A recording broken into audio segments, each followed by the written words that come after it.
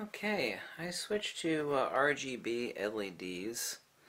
So we have a red channel, green channel, blue channel. And I can turn on all three at the same time and get white light emission. I'm using uh, my buddy's invention, uh, the ferrocell, to uh, prove a point I made in the discovery of the first edition of Uncovering the Missing Secrets of Magnetism, a free book by the way. I did discover something about a year ago that uh, even he hadn't noticed, and uh, that is the, the phase shift on a magnet and how one side is disproportionate in coloration to the other. Now, I know immediately by looking at this, without using my field finder, that on the right side I have the North Pole, and on the south side on the left side, excuse me, I have the south, here we go, there's a field finder showing that yes, indeed the right side is show inverse. The green pointing to the red, so the right side we actually have the North Pole. The right side I'm actually looking at rarefaction, on the left side I'm looking at compression. You'll also notice that the totality of light is less on the right side than on the left, but I also have a shift.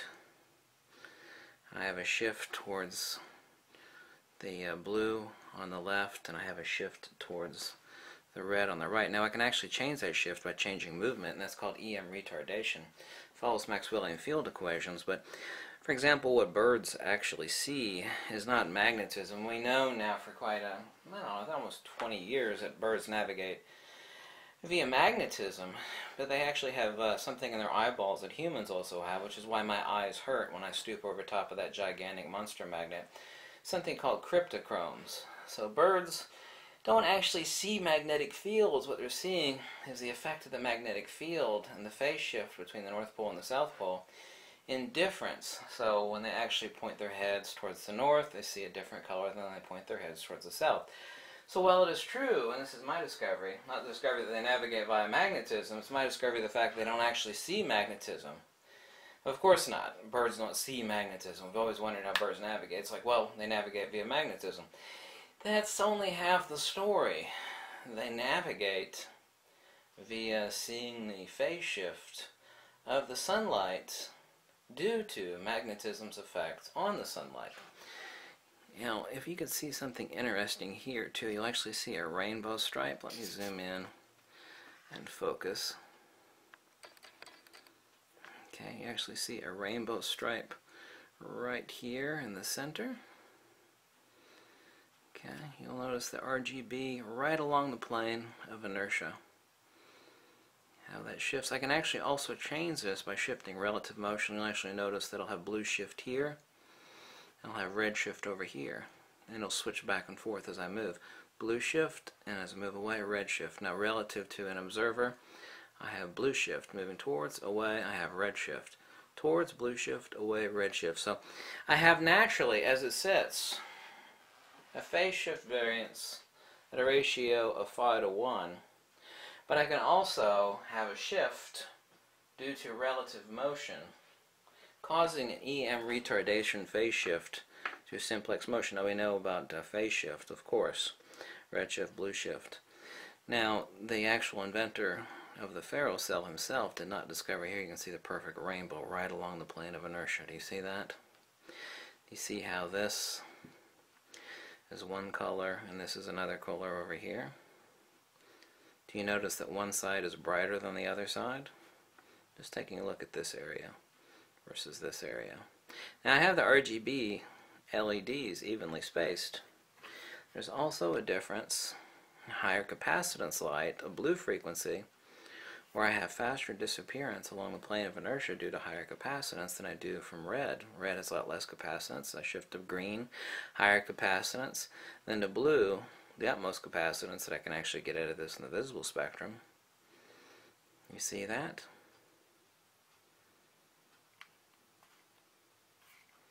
I'll switch back to red. Now, let me show you something else red, green, blue, very, very dim. Now I'm going to switch to white light. Now why don't you see something else? See what you see in this and then let's explain it. You notice that there's a void right at the center. It's a plane of centripetal convergence. Here we have a zone of centrifugal divergence. Now, what do you think, just like along the side, now we're looking at one pole, you're seeing the rainbow effect and the halo in the periphery out here, but right here in the center you'll see a bluish green band. That band is centrifugal divergence. The RGB colors that are actually coming in, this is centripetal convergence. The light is literally falling into the point of the plane of inertia. It's actually accelerating. Do you actually see that? Yeah, people think that light travels in a straight path. Of course it doesn't. This is what people don't understand too. That which we call gravity is absolutely no different than magnetic attraction, that which we call magnetic. Both of those things are the exact same thing. The only difference is field coherency. Okay? Matter is incoherent. Okay? Magnetic polarity at the atomic scale is pointing a billion trillion different directions. Okay? We have field coherency all pointing in the same direction when it comes to a magnet. In the exact same direction what we're actually seeing is the curved linear path, the spirograph pattern, which is a hypertrochoid, by the way, curving right to the point of centripetal convergence. We have an extremely strong, the only way you could normally demonstrate something bending light, like back in the observations we made of a star that was actually bending around the sun, because the star was technically behind our sun. People think, oh, well, that's uh, gravity, space, it's a curvature. No, no, space has no properties. Nikola Tesla said this. These are the exact words of Nikola Tesla. Space has no properties. Dielectric convergence, what you call gravity, and that which we call magnetic attraction, they're all one and the same thing. There's centripetal convergence or dielectric acceleration this curved linear path that's light taking off of a tiny little 1 inch by 1 inch by 1 inch N50 Gauss neodymium iron boron uh, ceramic magnet is having a curved linear path due to coherent field convergence. Field coherency. What do you think is bending the damn RGB LED lights? Light's not traveling in a straight path. No, you're seeing a hypertrochoid, i.e. a spirograph-like pattern. What the hell do you think is bending the light that you're looking at right now? Magic? Unicorns? what the hell do you think is bending the... Dielectric acceleration. Let's place the magnet on its side. Actually, this time let's place it on top. Can actually see what I actually had underneath there. Okay.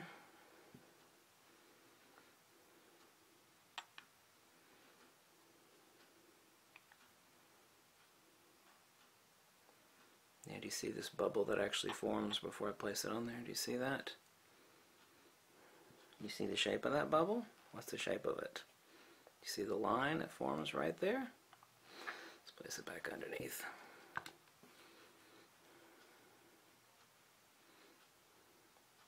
You see this rainbow right in the center here? Right along the plane of inertia? Do you see how this side's brighter? This side is dimmer? You see how this side is one color? This side is a different color? Do you see that? Do you see how I actually have phase shift due to movement? Blue shift, red shift, blue shift, red shift, blue shift, red shift. Over here, the same thing. Blue shift, red shift, blue shift, not as radical because there's a phase variance between polarity at a ratio of 5 to 1.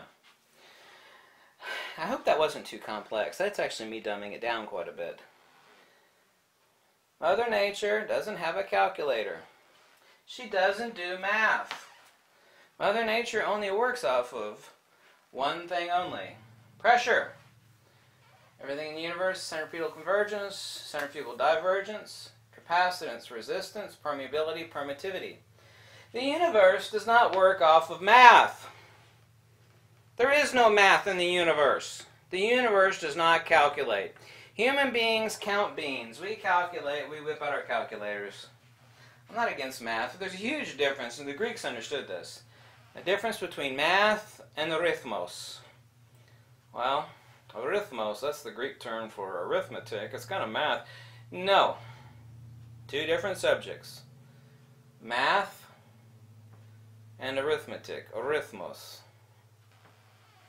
The proportionality of cosmic mechanics. Mother Nature does not have a calculator. She only works off of force and pressure. You don't need a calculator to know that when you pull the drain in the plug of your bathtub that the water is going to go down in a vortex and spiral down the drain.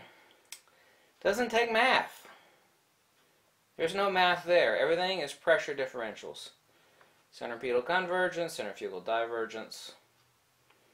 Fields. Science, no part or no branch of modern science has ever defined what a field is. Not a single branch. Nope. So, glad you could see this. This was my discovery from about a year and a half ago. And uh, even the inventor of the ferrocell cell didn't know that. Even he replied back, "It's like I, I did not did not see that." The reason you didn't see it is because you had to use RGB LEDs instead of white light LEDs. You had to have three separate channels bursting at the same time. Each one of these little spots, as I said, you see we got a red channel, a, uh, a green channel, and a blue channel, or all three of them together, RGB LED. Now, confirmation. Everything I said about magnetism is absolutely correct. It's undeniable. It's irrefutable. Mother Nature is not a crack whore with a calculator. Mother Nature doesn't do math. Everything in the universe works off of pressure. Also, there's not a single straight line in the universe. Not a single one. Everything in the universe is curvilinear. A line might be so long as to appear straight relative to an observer, but there is not a single straight line in the universe. So now ask yourself a question. What the hell is warping the light that is shooting out from these RGB LEDs? What? What? You see these curvilinear vectors?